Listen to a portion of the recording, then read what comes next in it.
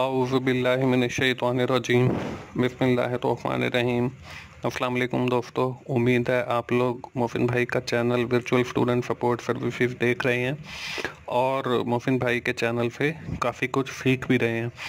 दोस्तों, जिन दोस्तों ने अभी तक मेरा चैनल सब्सक्राइब नहीं किया, वो जल्दी से मेरा चैनल सब्सक्राइब कर लें ताकि मेरी हर आने वाली वीडियो आप लोगों तक पहुँच सके। दोस्तों, मेरी जितनी भी वीडियोस होती हैं, वो सिर्फ़ आपको आइडिया देने के लिए होती हैं कि आपने असाइनमेंट या जीडीबी को सॉल्व कैसे करना है। तो आप उनको एज एन आइडिया ही कंसिडर किया करें, आप उसमें एडिशन या सब्सट्रैक्शन कर सकते हैं। अगर उसमें कोई गलती है तो। दोस्तों, आज की जो मेरी वीडियो है, वो M G T one zero one financial accounting का जो हमारा जी टी बी आया हुआ है, पहला, उस हवाले से है। तो चलिए हम लोग देखते हैं जी डी बी है क्या। इसकी रिक्वायरमेंट्स में कुछ यह है। Mister Aslam is running his small business under the name of Aslam funds he have recently hired mister Anwar as a junior accountant to maintain the books of account for his business mister Anwar have title little knowledge in accounting and he is unable to prepare the bank reconciliation statement and maintaining other necessary record.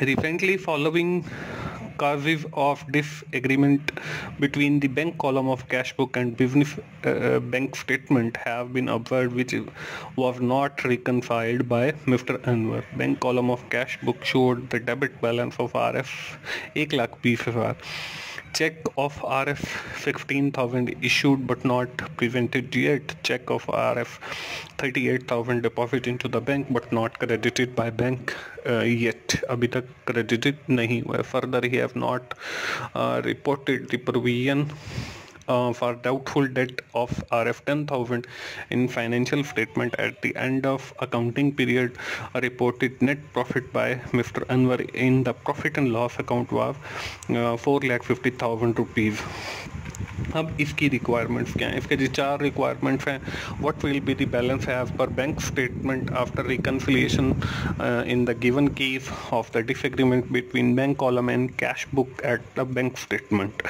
what will be the effect on net profit if the above mentioned causes if disagreement between the bank statement and bank column of cash book are not reconciled uh, third has which fundamental accounting principle was violated due to the of reporting provision for doubtful debt uh, in profit and loss account. Last has what will be the correct amount of profit after the considering the above mentioned fact में चार चीज़ें हमें required की गई हैं, जी।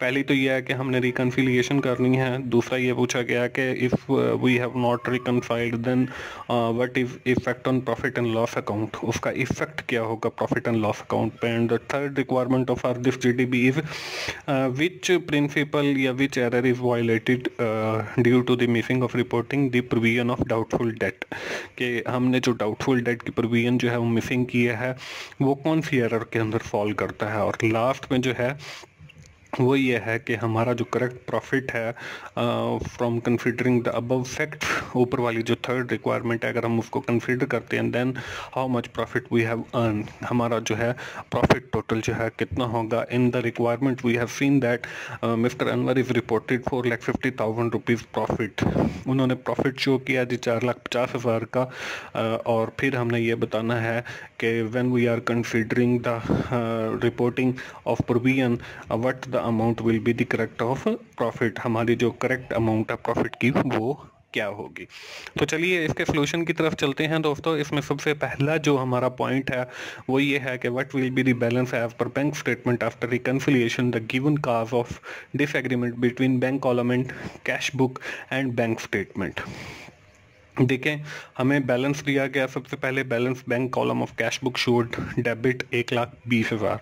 मतलब हमारा ये हमें गिवन दिया गया रिक्वायरमेंट्स के अंदर। इसके बाद है जी चेक इशूड इनको हम अनप्रेजेंट चेक भी कहते हैं तो ये हमने इसके अंदर ऐड कर रहे हैं। इसको भी हमने डेबिट किया सोलह हज़ार को तो ये टोटल जो है वो हमारे पास एक लाख छत्तीस हज़ार बन गया और ये बैलेंस आ गया। उसके बाद है जी चेक डिपॉजिट और अनक्रेडिटेड चेक जो अनक्रेडिटेड चेक होते हैं या जो चेक चेक डिपॉजिट होते हैं, वो लेफ़्ट किए जाते हैं, इसलिए हमने इसको क्रेडिट किया।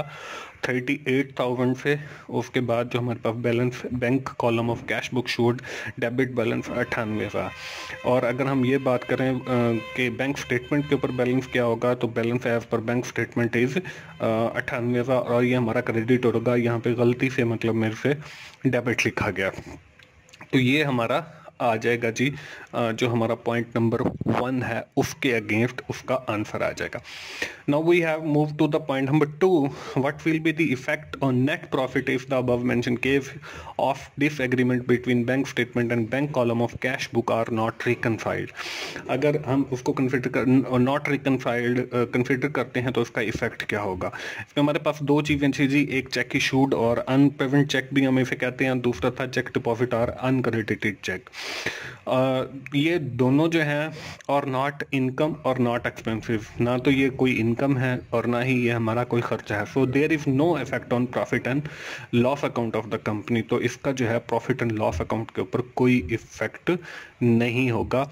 ये था हमारा point number two of the assignment इस असाइनमेंट का. पहले हमने पॉइंट नंबर वन किया, फिर पॉइंट नंबर टू अब पॉइंट नंबर थ्री है which fundamental accounting principle was violated due to the missing of reporting provision doubtful debt in the profit and loss account कि कौन सा मतलब हमने जो है उसका प्रिंसिपल वायलेट किया है जब हमने मिसिंग किया है प्रोविज़न फॉर डाउटफुल डेट तो in the above stated statement have no affect on account like sale and purchase इसका कोई इफ़ेक्ट नहीं है। क्योंकि हमारे पास पाँच, चार किस्म के या पाँच किस्म के एरर्स हैं, उसमें एरर ऑफ़ मिशन है कमीशन है एरर ऑफ़ प्रिंसिपल है एरर ऑफ़ ओरिजिनल एंट्री है तो इस तरह से है।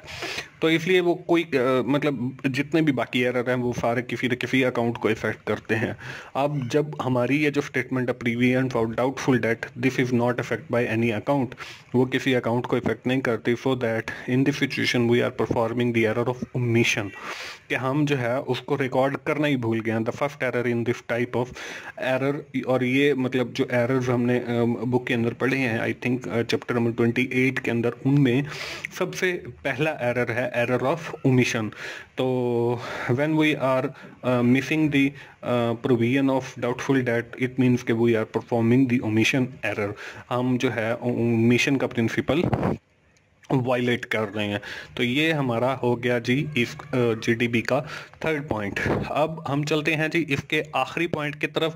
What will be the correct amount of profit after considering the above mention facts कि हम वो सारे फैक्ट्स मतलब कंसीडर करें तो हमारा नेट प्रॉफिट क्या होगा? तो net profit before adjustment of provision वो हमें क्वेश्चन के दिया गया था कि जी चार लाख पचास हज़ार है, उसमें से हम लेस करेंगे प्रोविज़न फॉर डाउटफुल डेट वो हमारी टेन थाउज़ेंड थी। तो net profit after adjustment of provision हमारा हमारा चार लाख, चालीस हज़ार आ जाएगा तो सो नेट प्रॉफिट चार लाख, चालीस हज़ार। तो इस तरीके से दोस्तों हमने पॉइंट नंबर वन पहले सॉल्व किया, फिर हमने पॉइंट नंबर टू सॉल्व किया, फिर हमने पॉइंट नंबर थ्री सॉल्व किया, और फिर एंड पे हमने पॉइंट नंबर फोर सॉल्व किया।